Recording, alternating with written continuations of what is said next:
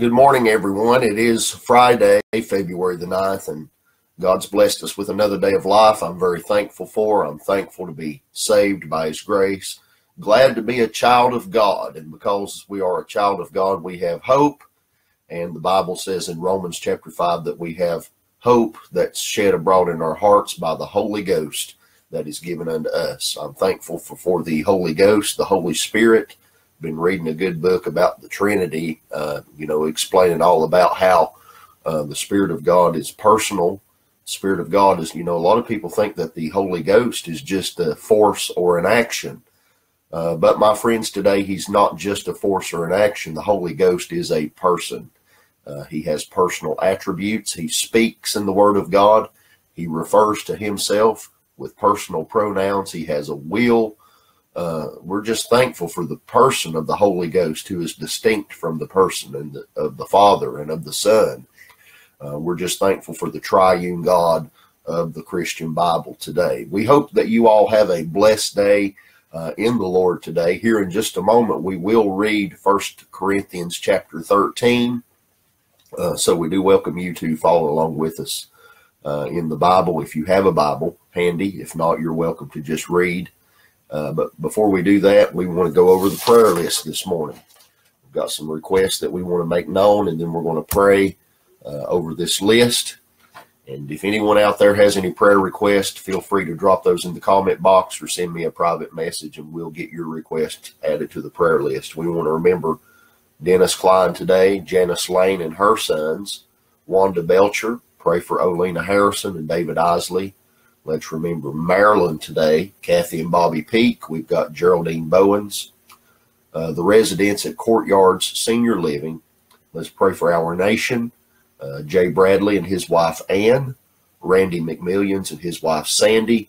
Let's remember Donnie Watson and the Weldon family this morning, the family of Ralph Brummett, the family of Ezra Flannery. Let's remember Walter Boyd.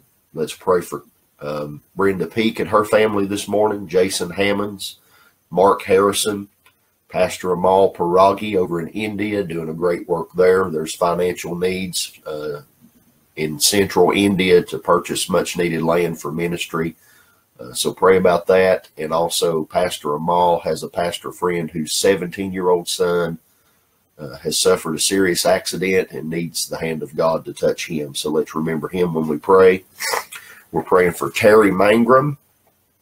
Margaret Fleener sent us a special request, uh, request, so let's remember that situation today. Also, Gary Vaughn is on the prayer list. Linda Taylor's family. Let's pray for Peggy Redmond, who has cancer. Melissa Daniels, Robert Etherton, Jennifer Smith and her family. Still praying for Brenda Rainwater and uh, dear lady at our church, Kim Gillenwater, needs our prayers. So do lift her up in prayer. Also, Mitzi, Kenny, and Brandon. Um, let's remember them. Lisa Crowder and her family, particularly her Aunt Diana, needs a touch from the Lord today. Tammy Lawson's niece. And Larry Hughes. Let's remember Larry Hughes. And I see that request from Megan. Let's remember her today we appreciate Roger Castle watching and uh, uh, Brother Foskey, we appreciate you watching. Jay Bradley, we appreciate you. And uh, of course, my mother's watching. We thank God for that. Rose, good morning, Rose. And good morning, Sean. Good to see you all watching today. We're going to pray and then we're going to read First Corinthians chapter 13. Let's go to the Lord at this time. Father in heaven, we thank you, God, for another day. We thank you, God, that uh, with you we can do all things, Lord. Uh, but uh, without you, we can do nothing. God, I pray for these needs this morning. Lord, we know where our help comes from. We know who's in control, and we're thankful that you've given us the faith to believe that you are the healer, you are the deliverer. We pray, God, for peace in these lives. We pray, God, that you'll give grace where it's needed. And Lord, we pray for wisdom for each individual on this prayer list and who's watching today. Lord, that you'll give us the wisdom that's needed with each decision we make in life, with each step that we take in life, that we'll keep Christ first. Uh, we'll keep Christ in the center of every decision that we make, that we might glorify the Lord and not ourselves. Help us, dear God, day by day to stand firm in the face of an adverse society. Help us, God, to be able to walk in the Spirit and not fulfill the lust of the flesh.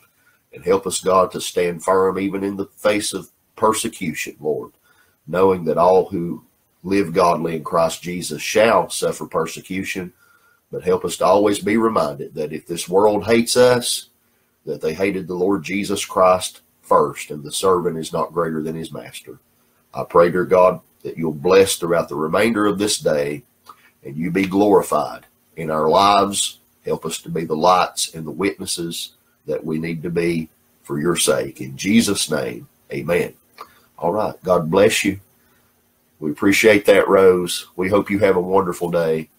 All right. I'm going to pick up the Bible now and start reading in First Corinthians chapter 13. First Corinthians chapter 13, commonly and affectionately referred to many times as the love chapter. This is where we've made our way to this morning. Notice with me the Apostle Paul writing here says, Though I speak with the tongues of men and angels and have not charity, I am become as sounding brass or a tinkling cymbal. And though I have the gift of prophecy and understand all mysteries and all knowledge, and though I have all faith so that I could remove mountains and have not charity, I am nothing. And though I bestow all my goods to feed the poor, and though I give my body to be burned and have not charity, it profiteth me nothing. Charity suffereth long and is kind. Charity envieth not. Charity vaunteth not itself, is not puffed up, doth not behave itself unseemly, seeketh not her own, is not easily provoked, thinketh no evil, rejoiceth not in iniquity, but rejoiceth in the truth, beareth all things, believeth all things, hopeth all things, endureth all things. Charity never faileth, but whether there be prophecies, they shall fail. Whether there be tongues, they shall cease. Whether there be knowledge, it shall vanish away. For we know in part, and we prophesy in part, but when that which is perfect is come, then that which is in part shall be done away. When I was a child, I spake as a child, I understood as a child, I thought as a child, but when I became a man, I put away childish things. For now we see through a glass darkly but then face to face. Now I know in part, but then shall I know even as also I am known. And now abideth faith, hope, charity, these three, but the greatest of these is charity. All right. And that's First Corinthians chapter 13 in the Word of God. We hope uh, that was a blessing and a help to you. And tomorrow we'll pick right up with First Corinthians chapter 14. Thank you all for watching. Thank you all uh, who will share this video to help us spread the word uh, of the Word of God. We appreciate that so much. So God bless you all. Have a great day, and we'll catch you again tomorrow.